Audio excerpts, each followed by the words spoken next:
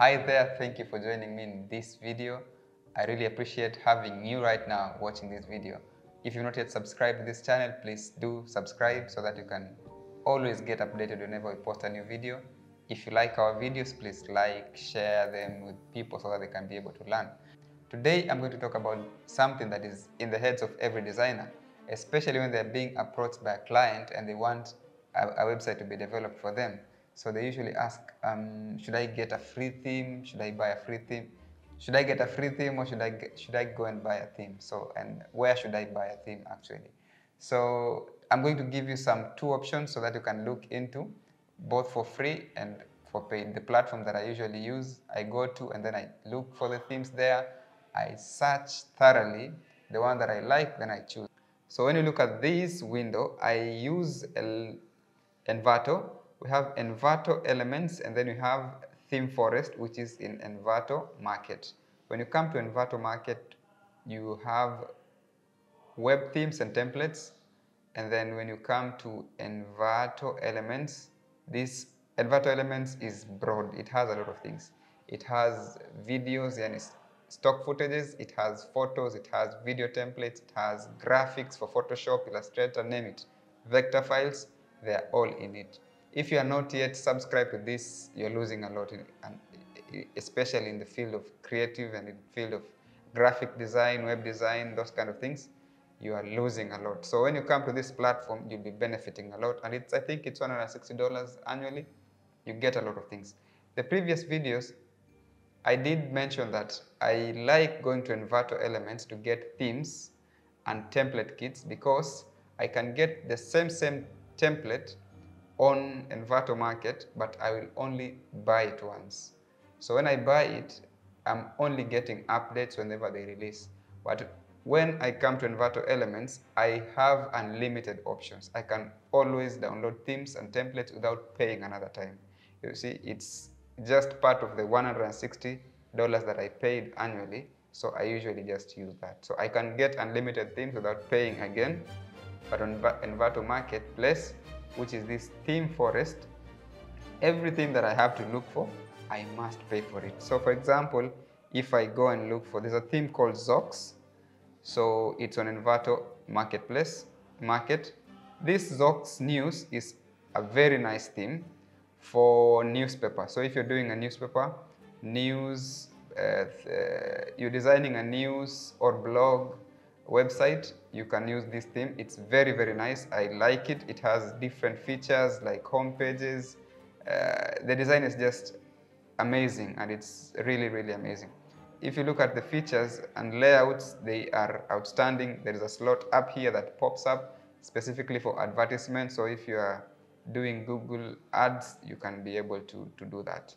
It's really nice. So different home pages you can, you can go through and see. The same same page, you see, here it is $55. It's well documented. It's been up, uh, sold to over 6,000 users. So, but if I come here and I go to WordPress and I look for the same same Zox, okay, let me move out of this. Yeah, it's here. I was I had selected template template kits instead of themes, so it is here. So you can imagine if I had already subscribed on Envato Elements, I can download multiple themes without having to pay over and over again, right? But if I have to come to Envato Market, I will every time have to pay for everything that I want. Anytime I want a theme, I'll have to pay for that particular theme. But on Envato Marketplace, I think you have already gotten the point that I'm trying to say. So I usually come to check, so I usually come to check the themes on Envato Market and then I go back to Envato elements and see whether I can find the same, same theme there. Because if I look it over here and I find that it's already, you know, the price is a little bit this, like $55, it's good for a theme. Meaning that that particular theme, if I was to get it here, it's still going to be good. So also another thing that I look at is whether it is on, you know, the, the page builder that, I, that it's built on. So I come here and I look for the plugins that are being used. Here you have uh, Gutenberg, WooCommerce, and bbPress. These are the compatible plugins that you'll have to use. Um, and it's good. So if you ask me, do you go for free themes or paid themes? I go for paid themes on Envato Elements. I don't go for paid themes on Envato Market, not unless that is a specific theme that I cannot get it on Envato Elements. So then I'll go to Envato Market. That means that the client was only convinced that they want that particular thing. So I have to only use that particular thing on that other area. So it's a tip that if you're doing design, you should also be able to follow. So if you do not have any other place that you can get that particular thing, but on Envato Market, then you'll have to go for that. Then we have other solutions, which is Word, which is WordPress.org.